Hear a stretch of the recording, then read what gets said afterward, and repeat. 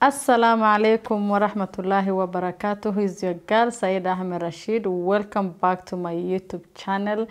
Uh, thank you so much for new subscribers for subscribing to my YouTube channel. And today we have an, a different episode, a different movement uh, from a different platform, and everything. Just name it.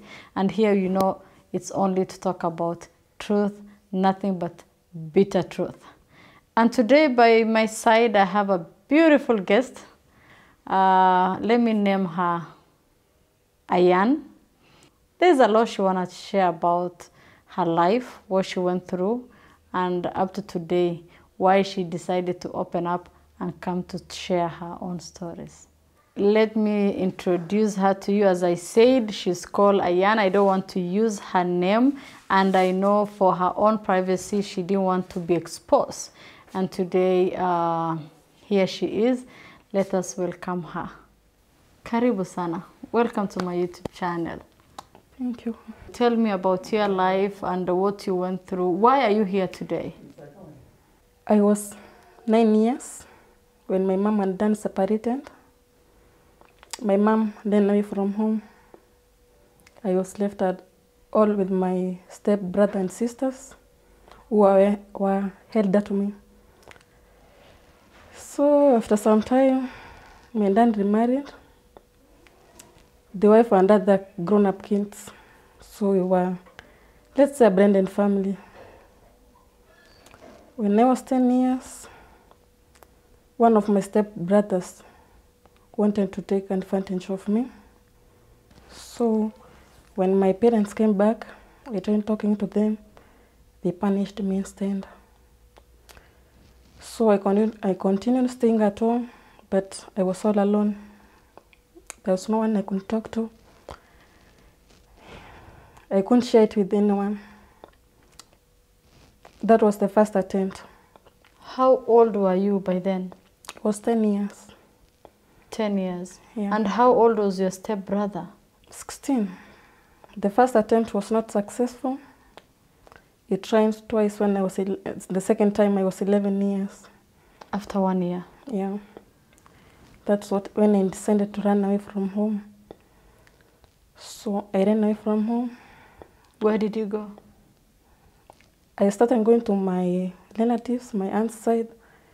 They could not take me in. They would ask me to go back to my father's house. So I was not safe anymore in my father's house. So I decided to run away, go look for maybe a house girl job. I went to town. I remember I walked from my village to town. So in town, nobody would take me. I was still young, very young. Nobody, nobody wanted to take me in as a house girl. At the age of 11. Yeah. Okay. So, few weeks in town, I used to sleep in streets. It's about for three months I slept in streets. Yes. I met. Uh, she, she's not a young lady, but she asked me, "I have never seen you here. Why are you here?" I explained myself, my story to her. She understood me, and she took me in in her house. Was she a stranger? Yeah. Okay. She reported the chief since she where she got me from. The chief said you can stay with them as long as nobody claims to to a lost child. You can stay with her. So we stayed with her. She brought me back to school. I continued from there. So, for how long have you stayed with that stranger that who helped you and picked you from the street? Almost 13 years. And where were your parents by then? Did they look for you? My mother was nowhere to be found. Nobody knew her trace, where to think to get her. And my parent, my other relatives, nobody wanted to take us in, to take me in, since my father was very. My father didn't want us to, to do anything with my father, mama, my mother's family. I call them my guardians now. They Those me- people. Yeah, who took me in. So we've been living with them until 2017 when Yeah, I completed primary school. I couldn't join secondary. I think I was abandoned to them. So they were not able to help you financially to go to higher eh, to high school. Yes. Okay. Then what happened? In 2017, it happened, came a man was looking for a wife after losing his wife. So Were you a Muslim by then? I, bec- I became a Muslim in 2014. 2014. Yeah, I was still in school. So the man came, proposed. I, I thought that was a good opportunity. I can learn away from poverty when I get married, no stress. Mm. So I got married in 2017. It was an, arra- an arranged marriage. By who? My guardians, Okay. so they told me, I, I am, since we have gone through a lot in life, just get married. This man is old enough, he'll take good care of you. How old were you by then? He was 17 years, And what, how old was the man? was in his late 40s. Yeah, I, could I can never say no to them, so I agreed to get married. From that marriage, mm. were you happy? At first, I thought I would be happy, but things were different. Getting married at 17, knowing nothing about marriage. I, I didn't even know how to cook, not even to wash dishes. So the man, I got married, but the man was totally different from what people thought. After marriage? Yeah. Okay. A few months I got pregnant, and that's when hell broke loose. I found my mother in 2018. That's when I found her. 2018. Yeah. Okay. Then what happened? It was never easy since I was I was a leader Muslim and I was not born one. It has been difficult, very difficult. Mm-hmm. Because after my marriage broke, and I couldn't even go back to my mother's place, so I went to my guardian's place. Stayed there for some time. Then I went back to my mother to explain to her, I'm now a Muslim.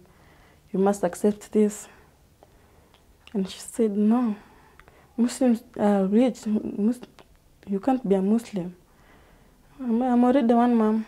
You can't, we can't do anything about it now. It's already late.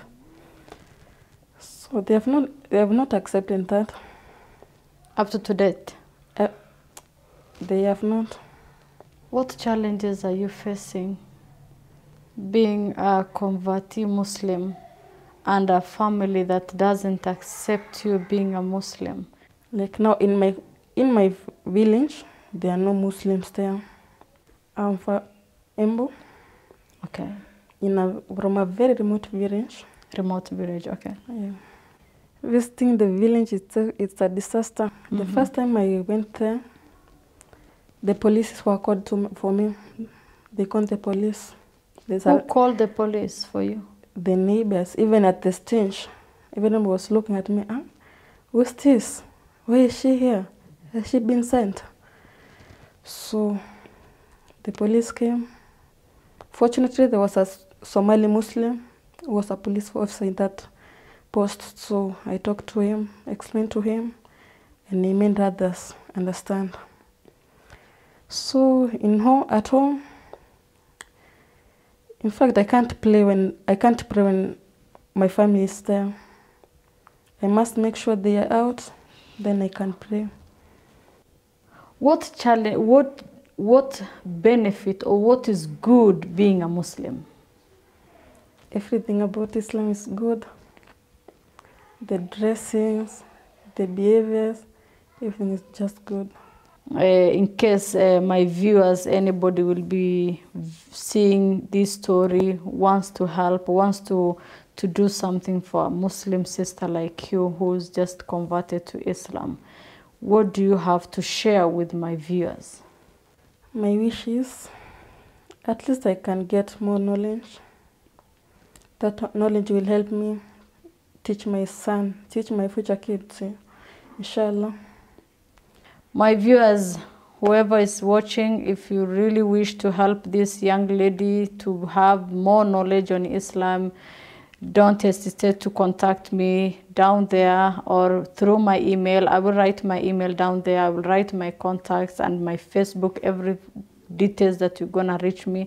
And uh, what helps other needs do you need financially if you want self-employed anything just tell us what you want people to help you with When I was growing up, so when I grew up, I want to be a lawyer. That didn't happen. If I can go back to school, I believe in myself I can perform very well. Yeah, at least I can get my dream. I can see my dream coming true. But for now, I'm taking AINA course. No job. Yeah. maybe the viewers who are going to view this can help this beautiful young lady to attain her dreams as she said she wanted to become a lawyer unfortunately she was not able to continue with her studies as a young lady going through this and nobody is there to listen. That is why i said girls come out. People are going through. Just come out and speak. Don't hesitate and don't hide yourself. You never know where the blessings are coming from. Otherwise thank you so much for watching my videos subscribing liking and other people sharing. Till next time thank you so much. Is your girl saida ahmed rashid